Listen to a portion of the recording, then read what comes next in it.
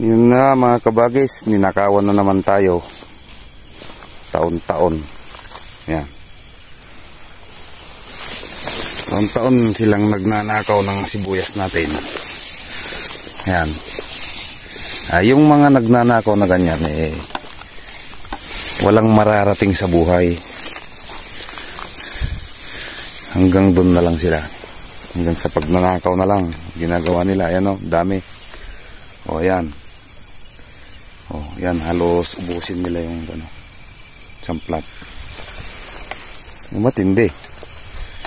Dito pa man din nila ah, ginupit. Yan, diyan nila ginupit. Oh.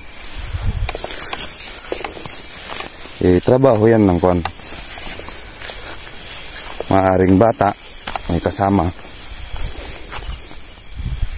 Yung kunwari nag pupulot kukunwaring nagpupulot.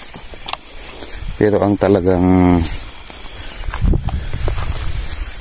kwan nila ay yung maka panguha sa hindi pa nabubunutan. Okay lang yan mga kabagis. Di naman natin kasalanan yung kasalanan po nila.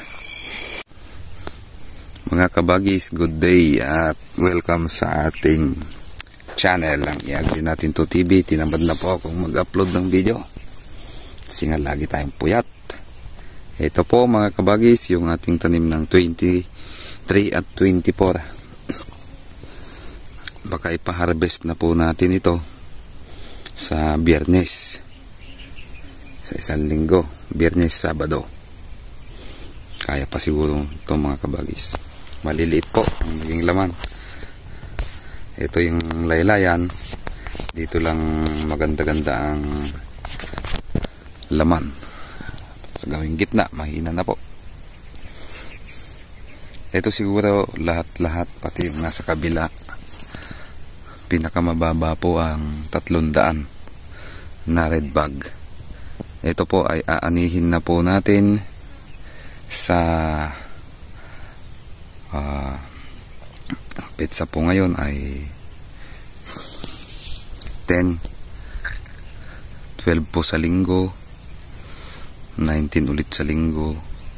Biyernes, Sabado is 1 po yun? 17 and 18 17, 18 po ang harvest po nito mga kabagis.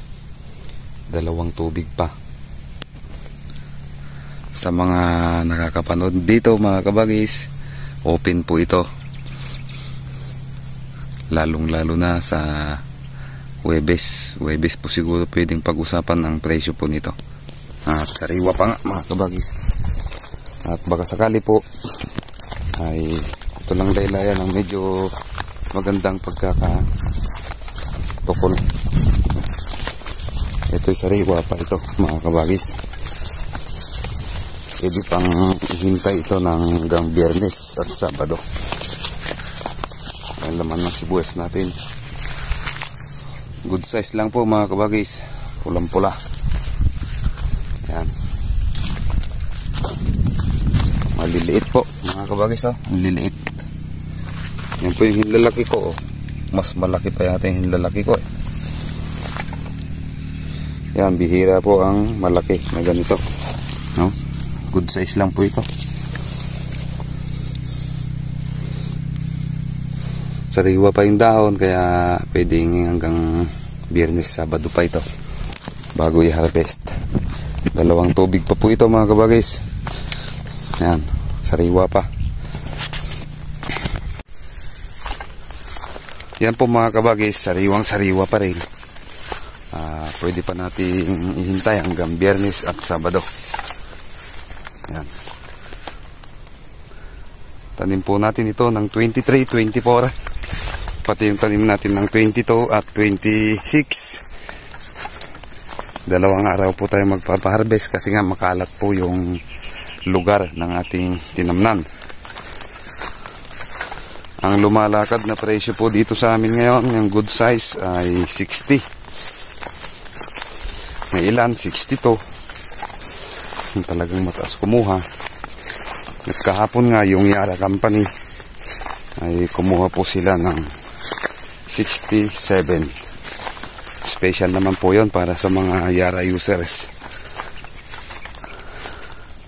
Okay mga kabagis, yung ating sibuyas dun sa baba. Eh, maganda-ganda ng konti ang laman kaysa to. Ito kasi ay medyo natutuyot. Ayan po, tuyo na yung lupa. Kaya nga po ang tubig niyan ay sa linggo. Okay mga kabagis, ah, subaybayan niyo po ang ating pagpapaharvest. Yung alaga naman po nito ay hanggang doon na lang. Hindi na po ako nag-spray noon. Mula nang hindi na po ako nag-upload, hindi na po ako nag-spray. Kinatamaran ko na po at masyado po ang puyat natin. Ay nagpahinga tayo. At ang inaasikaso natin ngayon ay yung ating kambing araw-araw tayong nag sasakate o nagkukumpay ng mga damo. Pampakain natin sa ating mga alaga kasi tuyo na yung ating sugahan o yung pakawalaan natin ng ating kambing. Ito nga po yung gawing ito. Dun sa taas na yun ay may pinagkuhanan. Inunahan na tayo sa pag-aani mga kabagis. Eh, wala tayong magagawa.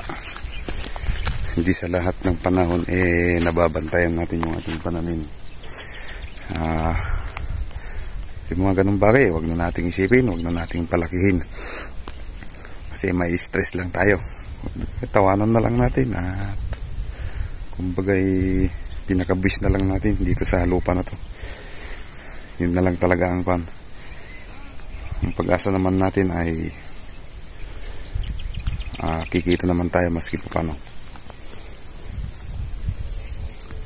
Ito mga kabagis nakatayo pa ngayon eh baka sakali eh mahiga na yan sa uh, susunod na mga araw. Malambot naman na po yung leg ng ating sibuyas. At sana po ay subaybayan nyo po yung ating pagpapaharvest. Hindi ko na po blinag yung mga ibang mga nagpa-harvest kasi nga po eh puyat tayo. Kailangan tayong magpahinga. Kasi nga dati eh, medyo mataas po yung ating presyon ng dugo. Ngayon po ay bumagsak yung presyon ng dugo natin kaya medyo nahihilo-hilo tayo. Kailangan nating magpahinga. Okay mga kabagis like lang po sa ating mga video at patuloy po kayong sumubaybay anuman po ang aking itatanim. At yung channel na to ay makapagturo at may matutunan ang mga nanonood. Yun po ang gusto ko. Kaya namin nilikha ang channel na to para makapagbigay ng mga points of view. Kumbaga uh, makapamulot kayo ng inyong kakaibang teknik ng mga karagdagang kaalaman sa pagtatanim ng gulay. Gulay man yan o sibuyas at sa mga susunod po ay yung diskarte naman sa pagpapalay. Kasi may nakausap po ako na gusto niyang ibahagi yung kanyang teknik sa pagpapalay Okay mga kabagis, babay po sa inyong lahat. Good day. At nawa ay kumita pa.